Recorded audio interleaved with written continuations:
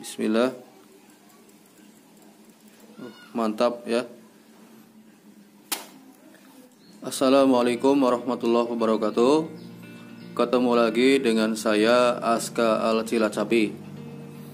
Semoga teman-teman semuanya hari ini berada dalam keadaan keadaan sehat walafiat. Amin ya robbal alamin.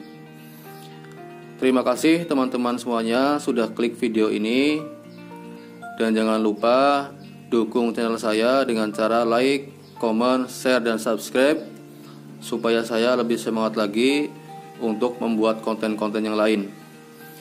Oke teman-teman semuanya, hari ini saya mau unboxing sekaligus mereview sebuah pisau sembelih. Oke, langsung saja kita buka paketannya. Ini kiriman dari eh, Depok. Bismillahirrahmanirrahim.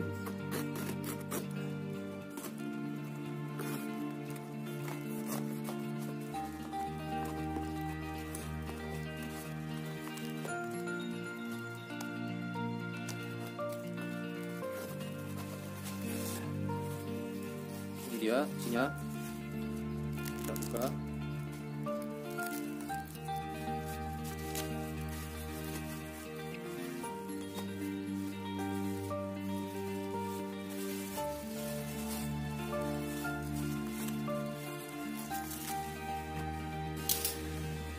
Ini dia teman-teman. Isi paketannya yaitu pisau sembelih ya. Eh, cap garpu atau herder made in Solingen Germany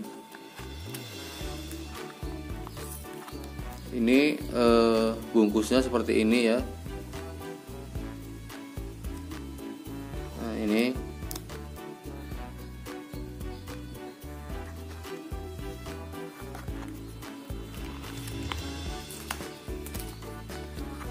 kita buka.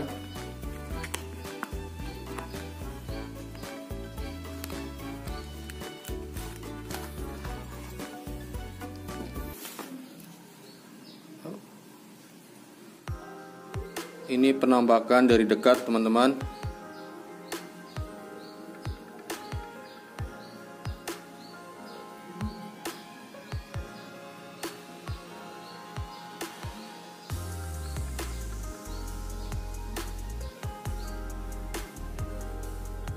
handlenya kayu ya. Oke ini eh, pisau sembelih. Untuk modelnya ini model bullnose.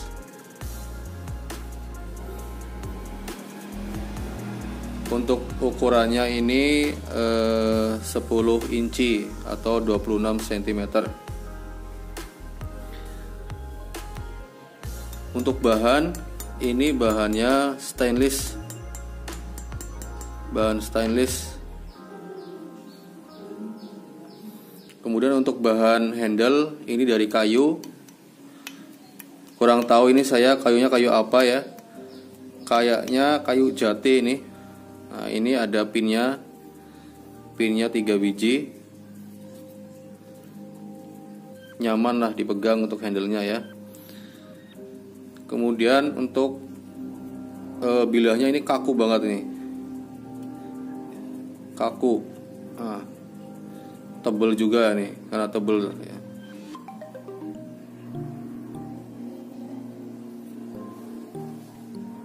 oke kita lihat coba tebalnya berapa mili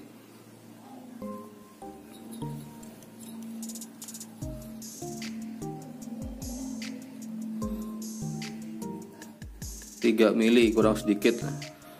Kemudian untuk sisi terlebar ini e, di pangkal 4 cm ya. Untuk panjangnya 26 kurang 5 mili ya. Mungkin ini untuk eh, ukuran panjangnya itu ukuran panjang sisi tajamnya ini ya. Jadi ketemunya 26 kalau dari eh, pangkal ke sini ketemunya 26 kurang 5 mili. Untuk handle ini panjangnya 14 cm kemudian tebelnya 2 cm ini eh, tanknya sampai sini ya. Hampir full tank ini. Oke teman-teman. Eh, untuk kekerasannya ini pisau cap garpu ini kekerasannya itu 55 sampai dengan 57 HRC kekerasannya ya. Ini e, pisau legendaris ini ya, cap garpu itu legendaris. Sudah ratusan tahun ya e, berdiri pabriknya ya. Dan kualitasnya e, cukup mumpuni ya, banyak sekali dipakai oleh jagal-jagal internasional ya kemudian e, koki ya di restoran ini banyak yang menggunakan pisau cap garpu ini. Oke teman-teman kita lihat e, ketajamannya seperti apa ya. Kita coba ke bulu halus.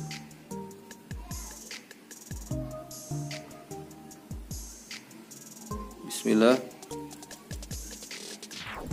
Mantap ya. Tuh ya mantap tajamnya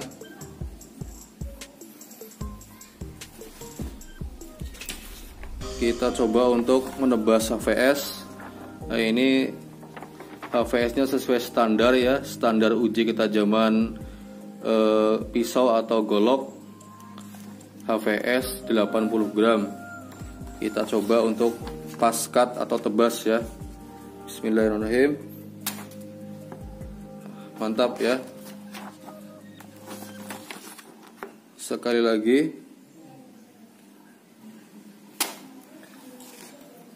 Mantap ya tajamnya. Kita coba untuk uh, slash plastik. Saya pakai kantong kresek. Coba bagaimana.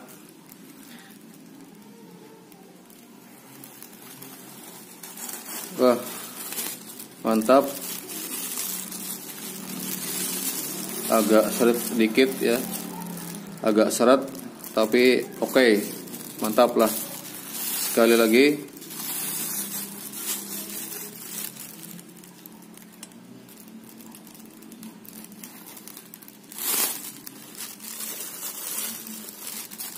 Keren tajamnya ya. Mantap. Oke tajamnya eh, bawaan dari pabrik ini ya. Bawaan dari pabrik belum diasah ulang udah oke okay banget ya. Udah siap untuk eh, sembelih sapi atau kambing ya.